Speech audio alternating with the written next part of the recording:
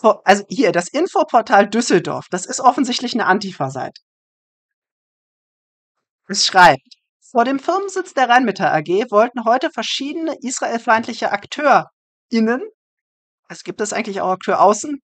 Nein, obwohl, das war jetzt 'n blöder Spruch. Ich, äh, lese noch mal. „Vor dem Firmensitz der Rheinmetall AG wollten heute verschiedene israelfeindliche Akteure gegen Waffenlieferungen nach Israel protestieren. Es gibt viele gute Gründe, den Rüstungsmeta Konzern Rheinmetall zu kritisieren.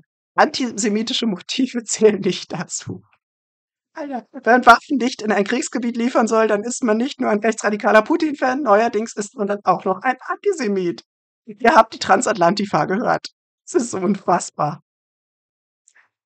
Gleich sind Aktionen an zwei weiteren Standorten des Rüstung Rüstungskonzerns geplant. Im Unterschied zu den Proze im Unterschied zu den Protesten in Berlin und München wird für Düsseldorf keine konkrete Gruppe genannt. Dazu heißt es lapidar, dass diese von unabhängigen Einzelpersonen organisiert wird. Die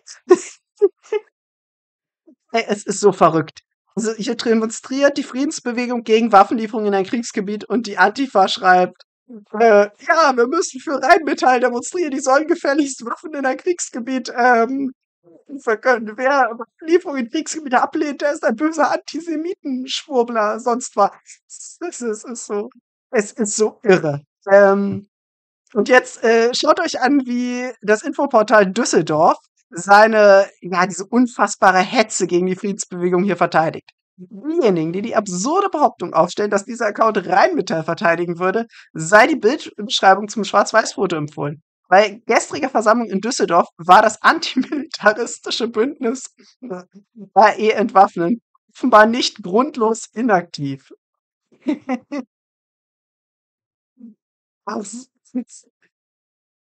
Es ist so komplett, ähm ja, was soll man dazu noch sagen?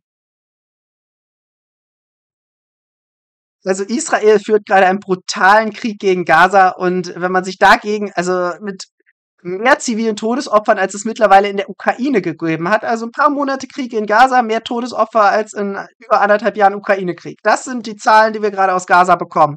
Israel bombardiert da extrem dicht besiedelte Gebiete. Und wenn man sich jetzt gegen Waffenlieferungen ausspricht, dann ist man offenbar ja, kein rechtsradikaler Putin-Fan mehr oder ein Rechtspopulist oder ein Schwurbler, sondern jetzt ist man dann auch noch Antisemit. Also der Diskurs in Deutschland wird von dieser Transatlantifa wirklich komplett, äh, komplett zerstört. Also danke für, ich glaube, MT aus HB war das, der uns, ähm, der uns den Tweet hier gerade empfohlen hat. Es ist so irre. Also das, das passiert, wenn die Linke sich von Leuten wie Dara unterwandern lässt.